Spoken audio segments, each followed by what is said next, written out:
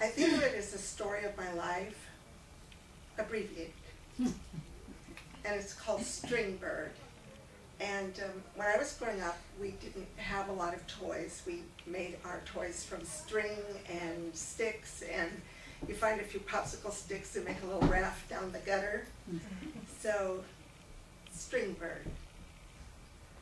If you have known hunger or loss, or searched for work in threadbare clothes, or walked the desperate hem of night carrying your feverish child, then you know how it feels to be summoned by need. I came nesting my cup of want in both hands.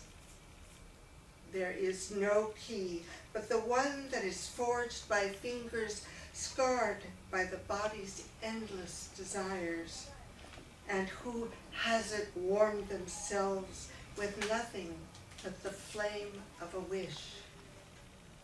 It is longing that teaches us how to fold a scrap of paper into a crane, how to tie a dusty feather to a twig and conjure up the thrush's trill.